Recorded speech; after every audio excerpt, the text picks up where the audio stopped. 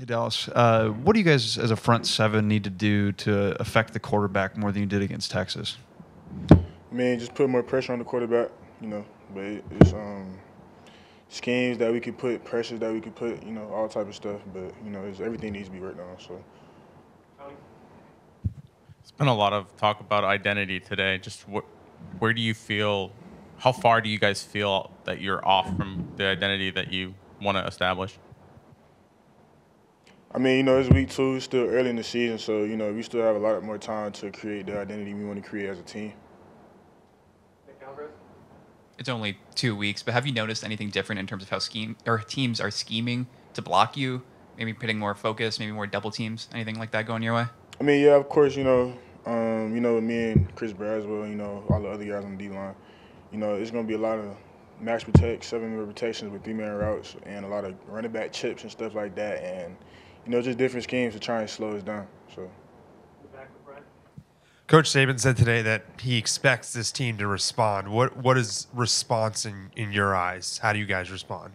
I mean, just just play to the standard. Honestly, just we know what we have to do as a team, and we know what standard that we're supposed to play to. So you know, we just have to just play to that standard in practice, walkthroughs, meetings, everything. So. Similar to that, as a leader on the team, what do you say to the guys to maybe uh, learn from the loss and not let it affect the season in a negative way? I mean, you know, it's still early in the season. It's week two, so you know we can't let a game from week two determine how our season's going to be. So you know, there's still a lot more things to look forward to.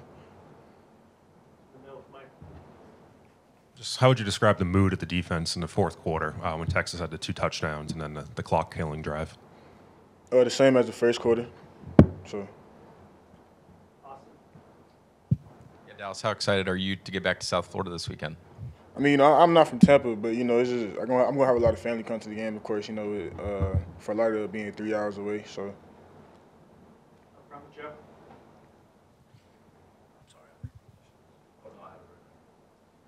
It's, you said it's only week two, uh, but you have Ole, you have Ole Miss in the SEC coming. So, how much of a sense of urgency do you and the team feel to play up to the Bama standard?